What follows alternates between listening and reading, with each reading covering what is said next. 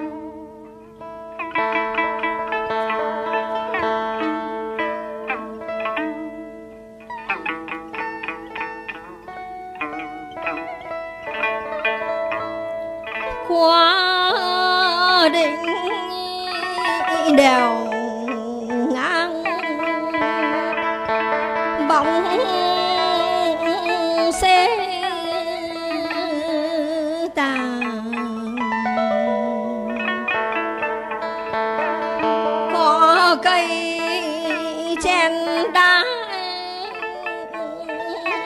lá chen hoa.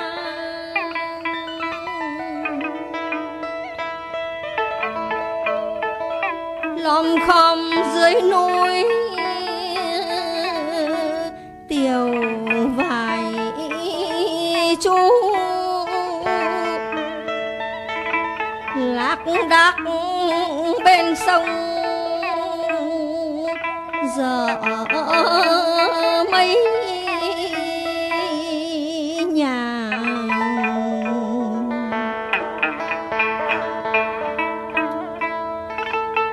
nhớ nước đau lòng.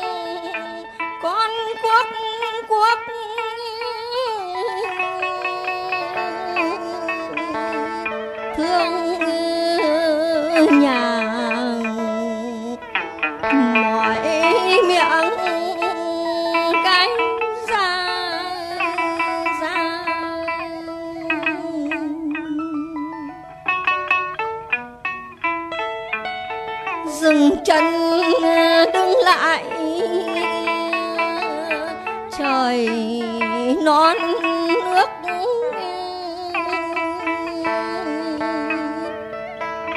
một mảnh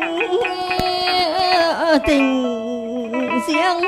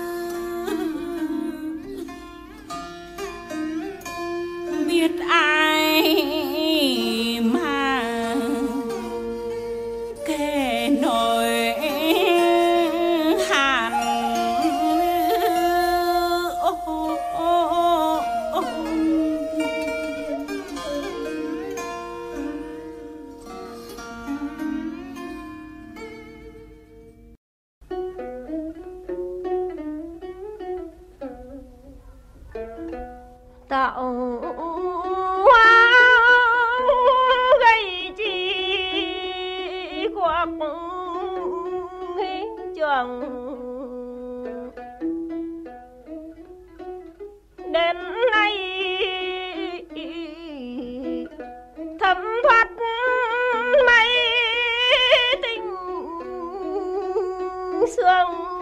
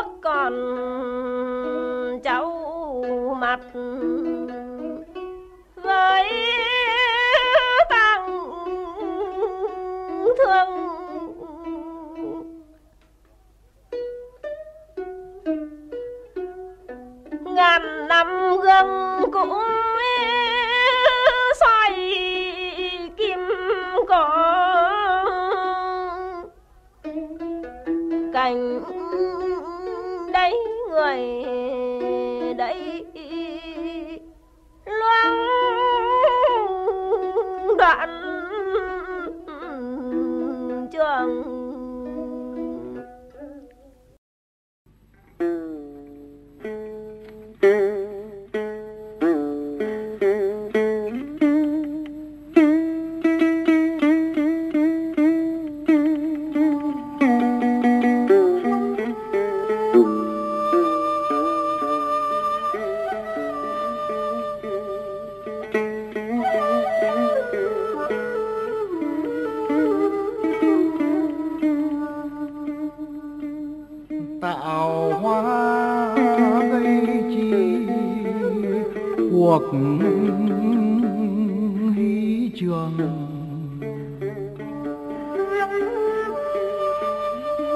đến nay thâm thoát mấy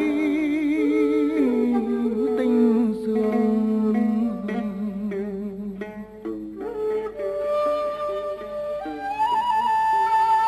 lối xưa xe ngựa hồn thu thảo.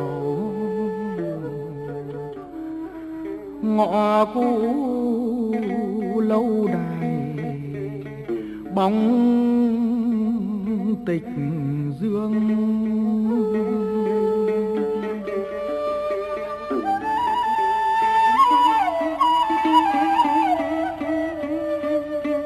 Đã vẫn cho gan cùng tuế nguyệt. Nước còn cau mặt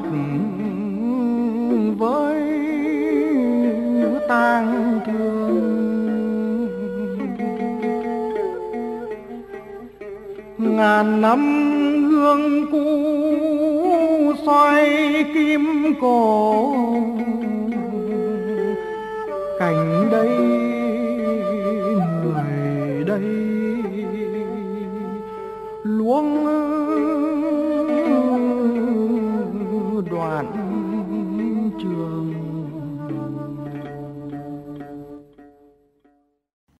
phụ nữ vốn hay ngoái lại dĩ vãng, dù chỉ là một thứ dĩ vãng không có gì. Văn chương nữ lưu thường là văn chương kỷ niệm, văn chương của quá khứ. Lối xưa xe ngựa hồn thu thảo, nền cũ lâu đài bóng tịch dương. Hoài cổ trong bà huyện Thanh Quan chỉ là một lối mơ mộng, một lối giải thoát. Lối hoài cổ là biện pháp thoát tục của bà huyện Thanh Quan. Bà còn tìm một hạnh phúc khác trong tục lụy của hiện tại là hạnh phúc gia đình. Khi ngoái lại, với lấy những ảo ảnh êm đềm của dĩ vãng hay khi vươn tới hô hấp lấy khí hậu ấm áp của gia đình, bà huyện Thanh Quan để lộ ra hai tâm trạng. Niềm e sợ thời gian trôi qua và sự cô đơn lạnh lẽo.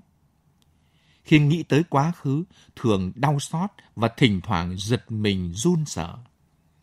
Ngàn năm gương cũ soi kim cổ, cảnh đấy người đây luống đoạn trường. Đồng thời với niềm e ngại trước cuộc sống mong manh, bà huyện Thanh Quan còn ghi lại niềm e ngại phải cô đơn hưu quạnh. Dừng chân đứng lại, trời non nước, một mảnh tình riêng ta với ta. Người phụ nữ yêu không gian mênh mông quạnh vắng, nhưng lại cảm thấy lẻ loi cô độc. Và bà huyện Thanh Quan thích để tâm hồn đong đưa nhẹ nhẹ trong sự than thân tủi phận. Lời nói ta với ta là một tiếng thở dài, êm ái. Nhu cầu trao đổi tình cảm, bà huyện Thanh Quan còn gửi đến độc giả. Bà cần san sẻ tình cảm của bà với người đọc. Bài thơ luôn luôn là một cái cớ để bà tình tự. Cá nhân bà luôn luôn hiện diện. Bà tỏ bày tâm sự của chính mình một cách thành thật ngay từ đầu một bài thơ. Bước tới đèo ngang bóng xế tà. Đây là chuyện riêng của một người đàn bà. Thơ bà không bao giờ có tính cách vô ngã như của nam giới, mà là lời tâm sự trực tiếp, lời than vãn, lời trách móc của riêng một người gửi đến một người xuất phát từ tâm can. Bà luôn luôn kết luận bằng nỗi lòng. Nói khác hơn, thơ nhằm diễn tả nỗi lòng đó. Thi ca đối với bà là một phương tiện truyền cảm để truyền bớt phần tình cảm thẳng dư. Thơ bà là thứ tâm sự đàn bà, một câu chuyện chị cùng em rất riêng tư. Phong cảnh trong thơ Thanh Quan là những đường nét mênh mông mơ hồ, màu sắc rộng rãi nhưng mờ nhạt, âm thanh u hoài và xa vắng. Ngoài ra, còn có cảm giác ẩm ướt, lạnh lẽo, bao trùm cả bài thơ. Người đọc cảm thấy rõ cảm xúc của một người đa cảm, một người đàn bà. Bức tranh của bà huyện Thanh Quan không bao giờ là một bức tranh thiên nhiên hay tả thực, cũng không đúng là những nét thủy mặc chấm phá nhưng là một bức tranh ấn tượng phảng phất một ít u sầu lãng mạn. Vì người đàn bà không quan sát tinh vi, cũng không suy nghĩ một cách trừu tượng. Họ chỉ nhạy cảm thấy và ghi lại những cảm giác của họ. Bà huyện Thanh Quan là nhà thơ của những cảm giác và của một thứ cảm giác nào đó thuần túy phụ nữ. bà rất ít lý luận. Trong một bài thơ thất ngôn, hai câu luận là để lý luận, nhưng rất ít khi bà sử dụng đến, chỉ duy có một lần. Bầu dốc giang sơn say chấp rượu, túi lưng phong nguyệt nặng vì thơ. Bà còn ưa chuộng cảnh tiêu điều hoang phế, cảnh buồn thảm ở đây hợp với nỗi hoài cổ bản nhiên trong người phụ nữ lối xưa xe ngựa hồn thu thảo, nền cũ lâu đài bóng tịch dương. Nắng chiều và cỏ dại, khung cảnh mới tê tái làm sao. Phải có cái cảm xúc tế nhị thắm thiết của người phụ nữ mới chọn lựa những hình ảnh ảm đạm như thế. Thơ bà huyện Thanh Quan là tiếng tỳ bà sầu thảm nhưng nhẹ nhàng chứ không não ruột Tình cảm ấy dĩ nhiên phải loang ra chiều rộng chứ không lắng xuống chiều sâu. Phong cảnh trong thơ bà cũng thế. Đó là đặc tính của sự nhận thức phụ nữ, của nỗi buồn phụ nữ. Một lần nữa, khuôn mặt người đàn bà buôn thuở lại thoáng qua trong tâm hồn người đọc. Nhưng những cảm giác dồi dào nữ tính đó được diễn tả bằng cách nào? Hình thức bài thơ còn giữ được nguyên vẹn hơi thở thiên nhiên nồng ấm hay không? Lời lẽ trong thơ thanh quan trang nhã đến khách sáo. Bà dùng chữ nho nhiều khiến giọng nói vừa đài cát vừa xa cách. Người đàn bà có hai cách nói đặc biệt, hoặc rất chanh chua đanh đá, hoặc rất thanh tao kín đáo. Hồ Xuân Hương là trường hợp thứ nhất bà huyện Thanh Quan là trường hợp thứ hai. Lời thơ của bà buộc người đọc phải e dè thận trọng khi tiếp xúc với nữ giới. Giữa thơ bà và độc giả có khoảng cách cần thiết để gìn vàng giữ ngọc. Hơn nữa, từ ngữ trong bà huyện Thanh Quan là những viên ngọc đẹp, những chữ tự đó đã có âm thanh trang nhã. Mục tử, cô thôn, ngư ông, viễn phố, khoáng giã, bình sa, trương đài, lữ thứ, thu thảo, tịch dương. Những chữ đó, tự đó đã mang ít nhiều vẻ lịch sự đàn bà. Nữ tính còn phát ra trong cách chọn vật liệu của thi ca. Về cây cối, ngoài một cây cổ thụ không tên vì bị mưa che lấp, chúng ta bắt gặp trong thơ bà ba thứ cây lớn, tàu chuối, ngàn mai và dặm liễu ba thứ cây tượng trưng cho nữ tính.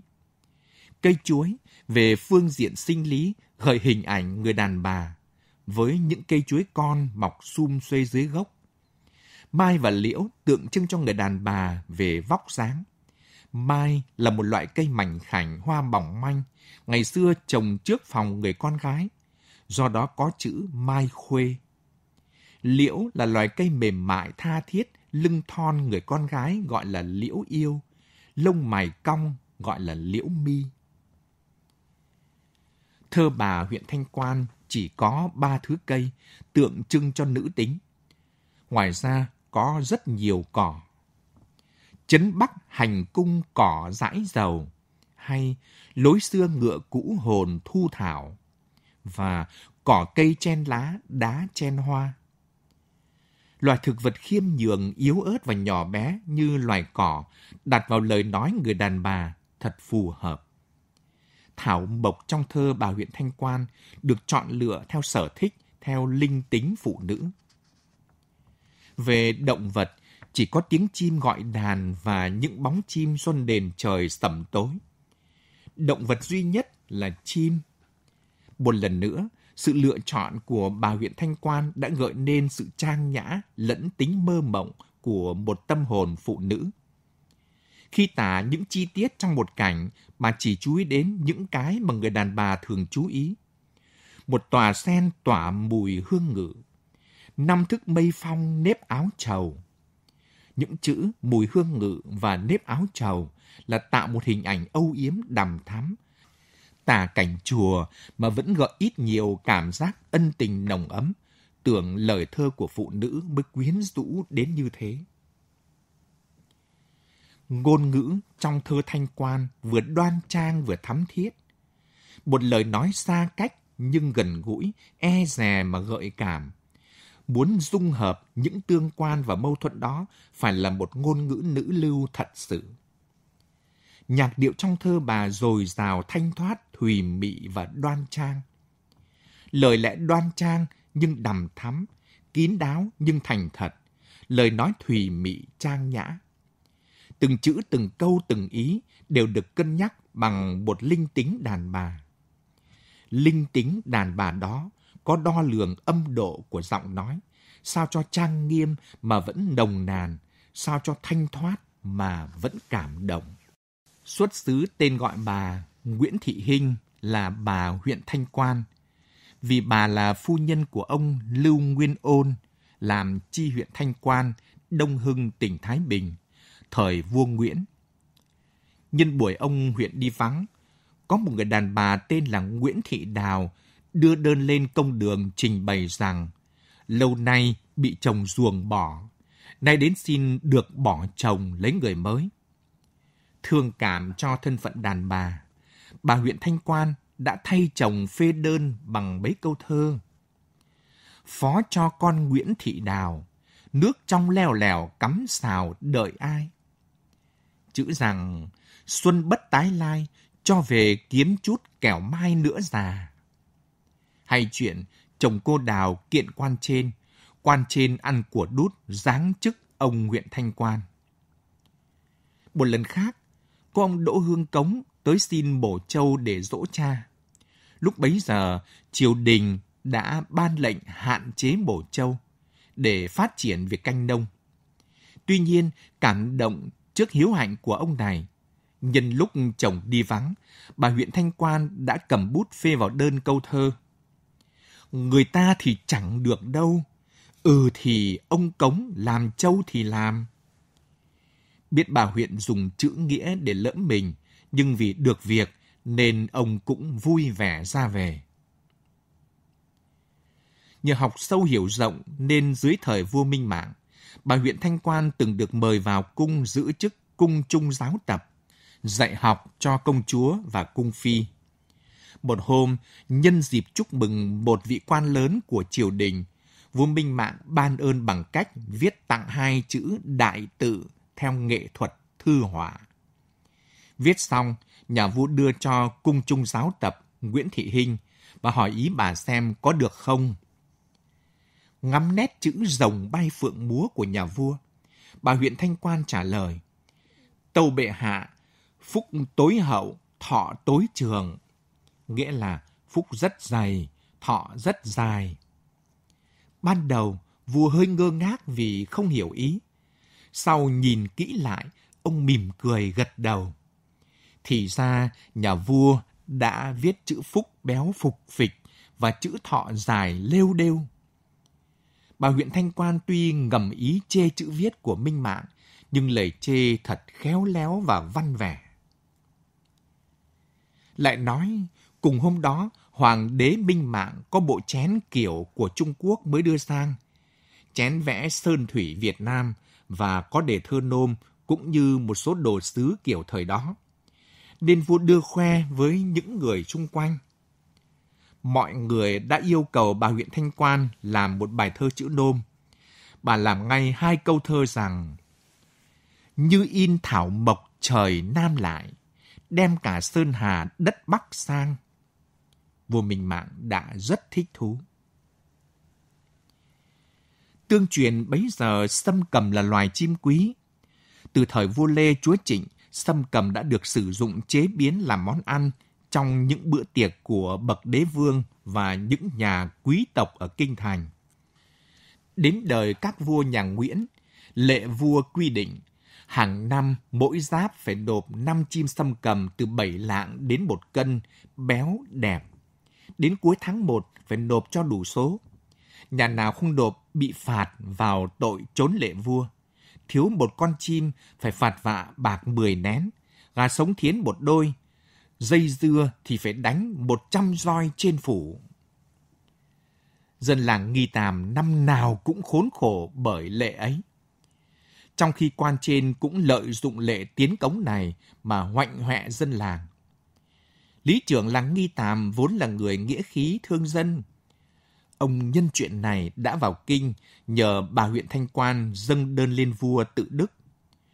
Thưa việc sách nhiễu của quan trên và xin bỏ cho lệ tiến cống. Cuối cùng, nhờ cung trung giáo tập, vua đã ban chiếu chỉ bỏ lệ cống hàng năm cho dân làng. Cả làng nghi tàm sau đó đã ăn mừng, họp nhau cùng ghi tên bà huyện Thanh Quan vào ngọc phả chứng nhận công đức của những người có công với dân làng.